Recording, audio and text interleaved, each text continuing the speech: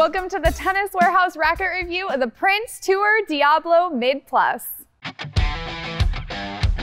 The Tour Diablo Mid Plus is back. Originally launched in the early 2000s, this racket has a 100 square inch head, a 16 by 18 string pattern, comes in at 11.5 ounces strung, features a 19.5 millimeter beam, and a maneuverable 317 swing weight. Plus, it's slightly extended for even more access to power and spin. We think this racket is loaded with nostalgia and a classic feel, but still plays perfectly for the modern game. This was such a fun playtest for me for so many different reasons. I'll start with the fact that one of my favorite players when I was in my teens was Xavier Malisse, and he endorsed this racket, and he's still out there endorsing and swinging this racket as he's coaching Lloyd Harris. So it's been super nostalgic and fun for me to dive back into a Prince throwback racket. I also used extended Prince rackets in my junior years. So I initially loved hitting with this one. The string pattern felt very open and I found really easy access to spin, really easy access to depth. It's very maneuverable and swing speedy and explosive for my game. At times, I did feel like I could swing even harder and really get that ball dipping into the court. Just really fun to blast balls from the baseline um, I was kind of craving a tiny bit more control. I could have used an extra cross string, I'm not gonna lie. However, I really was able to test this racket in so many, with so many different string options. And one even included a Kevlar hybrid, which really lended to better control for me as well as good feel. At net, it was super easy to maneuver. Sometimes it was a little flighty um, and unpredictable, but Sometimes I could just blame my own mechanics for that. And on serve, I really appreciated what this racket had to offer. That little extra quarter inch really helped get the ball popping into the service box really fast to swing. I found I could hit really big, powerful first serves, but also access as much spin as I needed on those second serves. Uh, all in all, I think I love this racket mainly because it felt so nostalgic, but still was super fun to swing and a great playtest for me. Right off the bat, I'm going to date myself a little here. I was on the original review of the Diablo Mid Plus, and only a couple of things have changed since then. One, I'm a lot older, and two, I discovered polyester string. So got to hit this one with a poly, never did back in the day. I played it with just multis, and I actually preferred the Diablo Mid over the Mid Plus, which was standard length and obviously smaller head size. Now I've aged a bit, and I'm looking for something uh, a little bit quicker, easier to get around, and plus the added length definitely helps me out. So uh, this is racket's definitely more in my spec today than it was in its day. And um, I still though prefer it with a multi-filament string, getting enough control out of this racket to bring the ball down inside the court.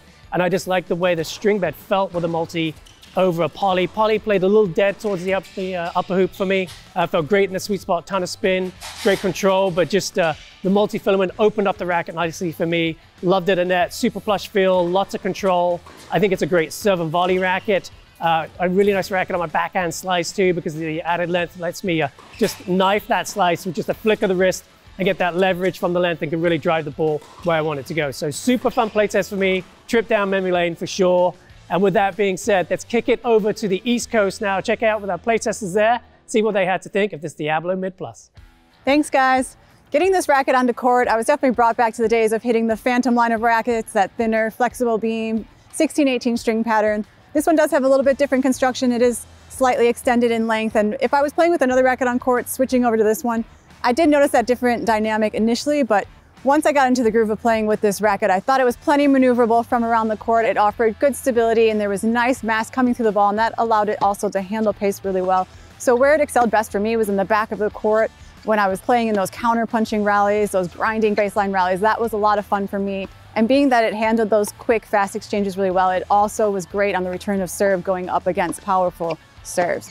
The one area I did struggle was when I had more time, when I had control of the point, able to dictate points and wanting to swing bigger through the ball.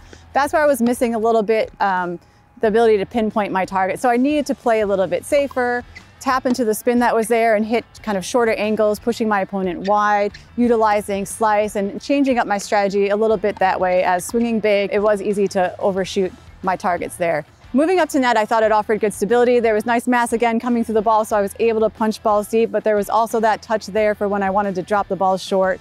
And then over on serves, I thought this swung easily overhead, especially for having that little bit of extended length there. Easy to tap into spin there, easy to get the balls moving quickly through the court. So definitely felt it was pretty easy to use there as well.